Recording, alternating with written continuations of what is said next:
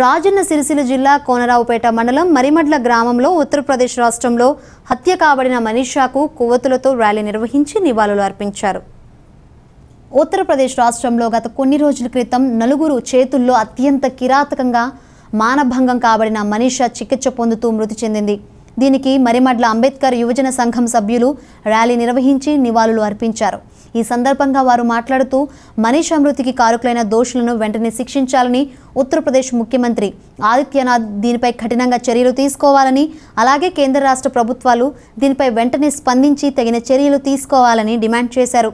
ఈ కార్యక్రమంలో అక్కినపల్లి శేఖర్ బూర్లా ఉదయ్ కుమార్ సగ్గుపట్ల ప్రమోద్ యువజన సంఘం సభ్యులు పాల్గొన్నారు.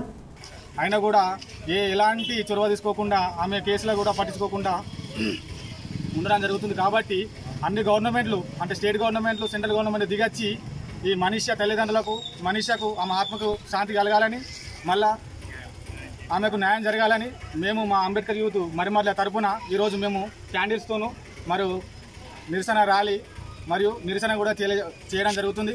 కాబట్టి సెంట్రల్ గవర్నమెంట్ దిగనైనా దిగచ్చి నరేంద్ర మోడీ కానీ సీఎం ఆ ఊరు స్టేట్ సీఎం కూడా దిగివచ్చి కంపల్సరీ ఈ మనీషకు న్యాయం జరగాలని మేమందరం మా అంబేద్కర్ సంఘం మరియు మా అంబేద్కర్ యూత్ తరపున నుంచి మేము ఘనంగా ఆమెకు నివాళులు అర్పించి కోరుకుంటున్నాం.